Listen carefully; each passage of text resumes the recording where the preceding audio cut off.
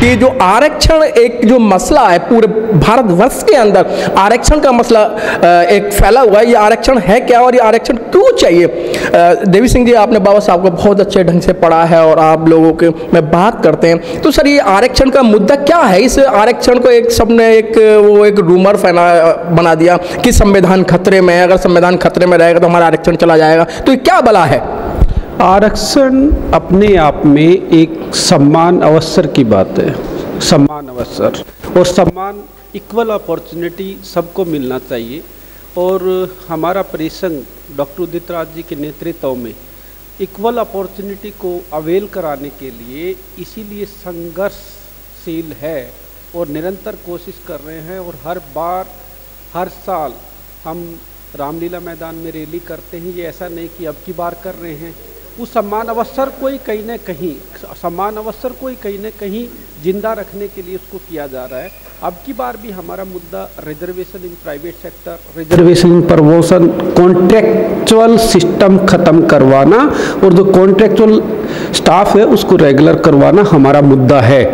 और डॉक्टर उदित राज जी सिर्फ़ मुद्दे उठा सकते हैं, लेकिन मुद्दों को असली मुकाम तक पहुंचाना तो जनता का काम है ना। तो जनता से भी हम अपील किए हैं, अभी भिन्न भिन्न डिपार्टमेंट में जाके कर रहे हैं कि भाई मैक्सिमम लोग मैक्सिमम लेवल तक आके इस जन आक्रोश के साथ, जन संघर्ष को, अपनी मांगों को मनवाने के लिए और कोई भी सरकार, मेरा ये मानना है कि कोई ना किसी को नुकसान पहुँचा सकता है और ना ही कोई फ़ायदा दे सकता है।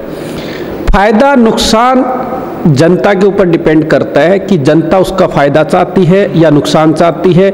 इसीलिए हम ये चाहते हैं कि reservation in private sector is not a issue for the S C S T only उसमें सम्मान अवसर की बात है, उसमें ओबीसी जनरल का भी कहीं ना कहीं दावेदारी आता है।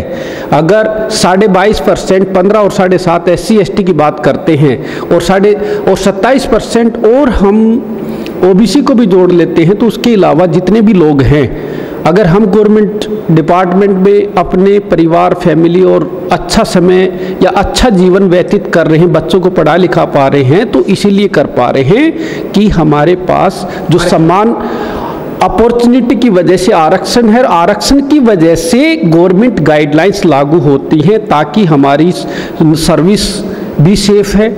हमारे को सरकार के वेजिज के हिसाब से तनख्वाह अच्छी मिलती है तो राणा जी, अभी जैसे अभी उदित राज जी ने भी बताया कि जब उदित राज जी जब परिसंघ चलाते थे, इनके साथ में लाखों लाखों पब्लिक हुआ करते थे। फिर इंडियन जस्टिस पार्टी बनाई, कुछ पब्लिक का कम हुआ। और आज बीजेपी में चले गए हैं तो लोगों का मानना ये है कि जो एक बाबा साहब को मानने वाले थे, जो एक ब्राह्मणवाद और एक अम्बेडकरवाद की जो बात आती है, जहाँ अम्बेडकरवाद को लेकर जा रहे थे, आज वो ब्राह्मणवाद के अंदर फंस गए हैं। ऐसा लोगों का मानना है, लोगों का ऐसा नहीं है, क्योंकि लाखों लाखों लोग आज भी डॉक्टर उदित राज जी के साथ हैं और देश का कश्मीर से लेकर कन्याकुमारी तक, गुवाहाटी से लेकर गुजरात तक, पूरे देश में ऐसी कोई कॉन्स्टिट्यूएंसी और कोई ऐसा क्षेत्र नहीं है, जहाँ हमारे जागरूक दलित साथी, दलित मतलब एस टी लोग और साथ ना हो। और दूसरा आपका जो मुद्दा है कि डॉक्टर उदित राज जी बीजेपी में चले गए। बीजेपी में जाने से डॉक्टर उदित राज जी ने किसी समाज का नुकसान नहीं किया है बल्कि समाज को प्रोटेक्ट किया है। क्योंकि आज डॉक्टर साहब अगर बीजेपी से सांसद हैं तो कम से कम ये दलित मुद्दे पार्लियामेंट सेशन में मैक्सिमम उठा तो रहे हैं। और वो वो मुद्दे उठा रहे हैं जो वास्तव में आज का सबसे बर्निंग इश्यू है।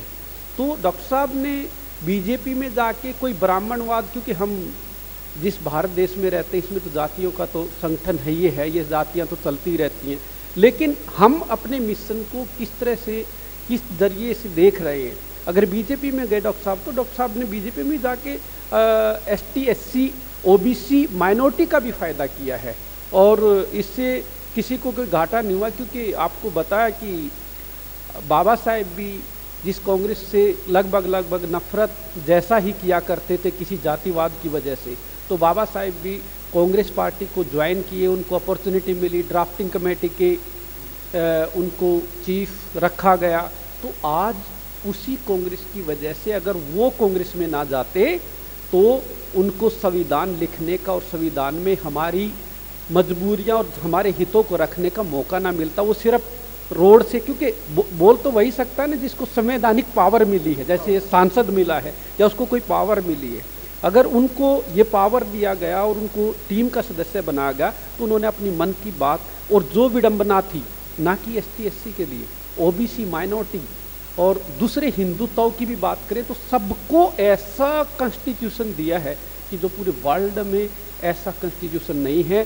तो मेरा ये कहना है कि अगर बाबा साहेब को जाना पड़ा कांग्रेस में तो दलितों के हित में गए। आज भी बीजेपी में अगर डॉक्टर साहब हैं तो एस टी का कोई बुरा करने के लिए अम्बेडकरवाद उनके दिमाग में उनके दिमाग में आज भी है कल भी है। उनके लिए प्रायोरिटी अम्बेडकरवाद है।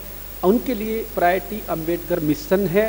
कोई किसी तरह की दूसरी टाइप की क्रांति या भ्रांति नहीं फैलाना लेकिन दबे कुचले लोगों को डिप्रेस्ड कम्युनिटी को ऊपर उठाना उनका मकसद है, वो किसी के लिए। आज भी वो अपनी कॉन्स्टिट्यूंसी में किसी को S C S T O B C general के हिसाब से, उस हिसाब से नहीं देखते हैं। जनरल भी आता है तो वो अपने फ़र्ज़ को उसी रूप से पूरा करते हैं, जो करना चाहिए, उनको सांसद होने के नाते।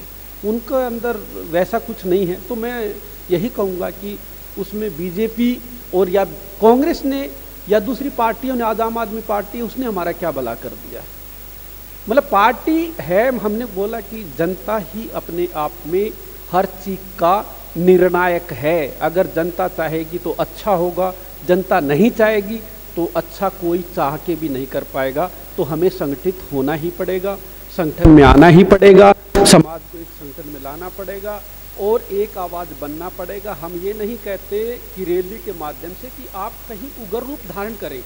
अरे भाई, उग्र रूप धारण न करें, लेकिन जो हमारा संवैधानिक अधिकार है, कम से कम उसको तो हम एक जगह इकट्ठा होके जय बाबा साहेब भीमराव अंबेडकर कह के और अपनी मांगों का एक मेमोरेंडम तो भारत सरकार तक या राज्य सरकार तक पहुँचा सकते मेरा एक लास्ट क्वेश्चन है कि अभी जैसे यूपी के अंदर सरकार चल रही है और वहाँ से कुछ सभासद जीत के आए चेयरमैन जीत के आए, और उन्होंने जब शपथ ग्रहण समारोह चल रहा था, उन्होंने बाबा साहब जय भीम के नारे लगा दिए तो उन सभासदों की बीजेपी के जो सभासद थे उन्होंने पिटाई कर दी। देखिए इसमें इस मुद्दे पे मेरे को ज़्यादा कुछ मानता हूँ कि आपको नहीं है। अभी एक शरद श्रीवास्तव जी ने और एक कुमार विश्वास जी ने भी बोला था। एक शरद श्रीवास्तव जी ने जो बोला था कि जो एक एलआईसी के डिप्टी डायरेक्टर हैं, उन्होंने बोला, ढोल गंवार, शुद्ध पशु नारी, ये सब ताड़न के अधिकारी। और उस शरद श्री जो वास्तव है, जो कि एक डिप्टी डायरेक्टर, उसने बोला, ढोल गंवार, शुद्ध पशु नारी, ये सब पीटन के अधिकारी।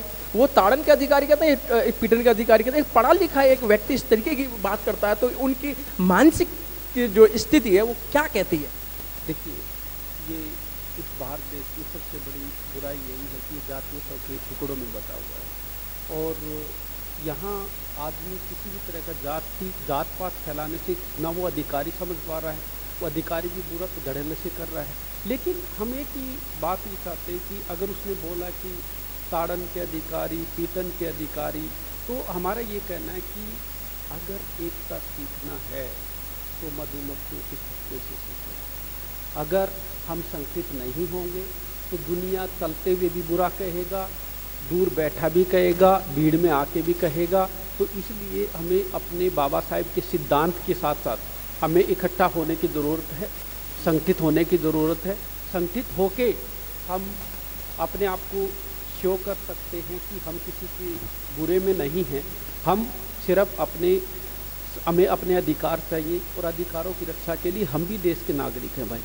हम भी देश के देश के लिए सेवा करते हैं और देश के लिए सेवा करते हैं तो ऐसे अपशब्दों को इस्तेमाल नहीं करना चाहिए और करना बंद भी हो जाएगा लेकिन उसके लिए फिर वही बात है कि हाँ एकता होना चाहिए और एकता सब कुछ बंद कर देगा धीरे धीरे उस आदमी को भी ये निंदनीय है कि अगर उस अधिकारी ने पढ़े लिखे हैं वो अगर तो उन्होंने अगर ऐसा शब्द इस्तेमाल किया है तो वो अपने आप में निंदनीय है और परिसंग ऐसे व्यक्तित्व को जिसने भी बाबा साहेब के मिशन और समाज के लिए गलत बोला है उसके लिए हमेशा लड़ता रहा है और हम उसको इस चीज़ पे भी ध्यान देंगे और डॉक्टर साहब से बात करके उसको देखेंगे कि ऐसा कौन व्यक्ति है जो बोल भी दिया और उसको किसी तरह का मतलब कोई पनिशमेंट भी नहीं है या कुछ भी नहीं है तो उसको ध्यान रखा जाएगा। आप थे देवी सिंह देवी सिंह राणा जी, जिन्होंने बाबा साहब को पढ़ा और बाबा साहब को विस्तार से बताया और कि सभी को संगठन में रहने की ज़रूरत है। जैसे मधुमक्खी का भी एक इन्होंने ज़िक्र करा और मधुमक्खी का ज़िक्र ऐसा करा कि मधुमक्खी एक ही जगह, एक ही मुकाम पर बैठी रहती है और अपना काम करके आती है, फिर वहीं अपने घर के अंदर चली जाती है। इन सब बातों को लेके वही बात निकलती है, अगर बाबा साहब के मिशन को आगे बढ़ाना है तो और बाबा साहब की बात को आगे बढ़ाना है और मानवर राम साहब के बात को आगे बढ़ाना है तो संगठन बनाना बहुत ज़रूरी है संगठित रहना बहुत ज़रूरी है।